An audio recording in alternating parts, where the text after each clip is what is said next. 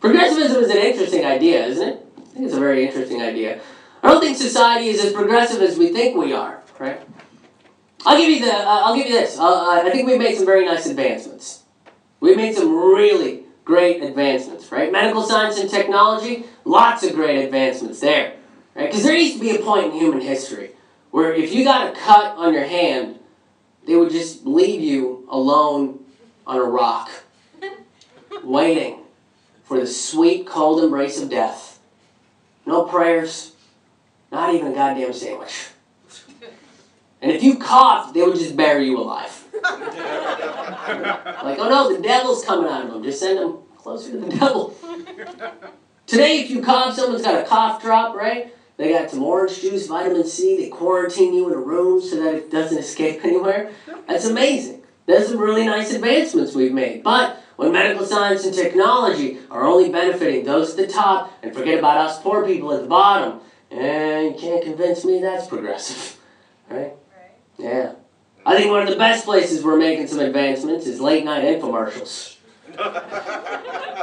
and we're selling bullshit to insomniacs for three easy payments of 1995 with a free gift. What's the free gift, you ask? Don't worry about it. Just don't question anything. Don't self reflect, and you will get a free gift. You'll figure it out. My favorite advancement is the buffet. Oh. That's a good one, isn't it? Yeah. The buffet has been advancing gluttony since 1939. That's when it was invented. Yeah, uh, at the World's Fair in 1939. The Swedes brought it over. They called it a smorgasbord. It was a spread so good that America.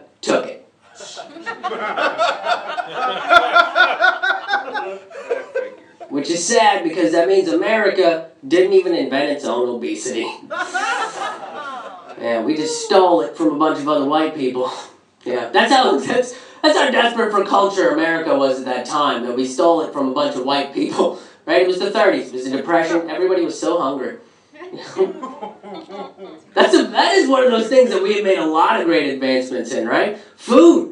Food is made one of the, is, is one of those things that's made like the most significant amount of advancements. Everywhere you go, there it's just larger and larger portions, but unhealthier and unhealthier more people, right? There, there's more starvation in this country and larger food in this country. I don't know how that math adds up, but realistically, we're a country that's not very good at math, so I'll let it slide. Right? Everywhere you go, you're, you're just, uh, you know, like dinner tables, you're, you're uh, supposed to go up and get seconds, right? All fast food restaurants want you to supersize it. Hell, the, blood, the buffet is just a gluttony lunch special. That's all it is, right? Olive Garden right now has endless soup, salads, and breadsticks. Endless? Holy shit! that is the black hole of portion control. Right? That is so much food that it bends and warps your sense of time and reality. It's ridiculous, man.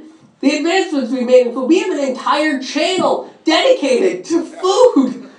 The Food Network. Yeah, and you know what half those fucking shows are? They are food contests at restaurants where a block down the street there's a guy with a sign that says, We'll work for food.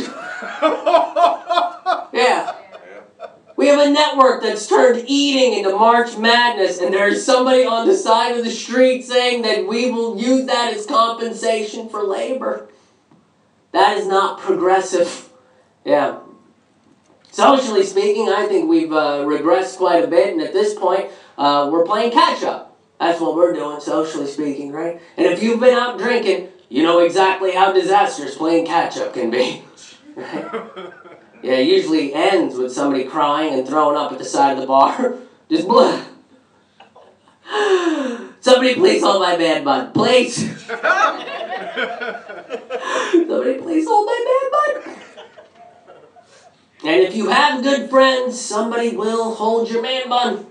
Despite the fact that a man bun holds itself.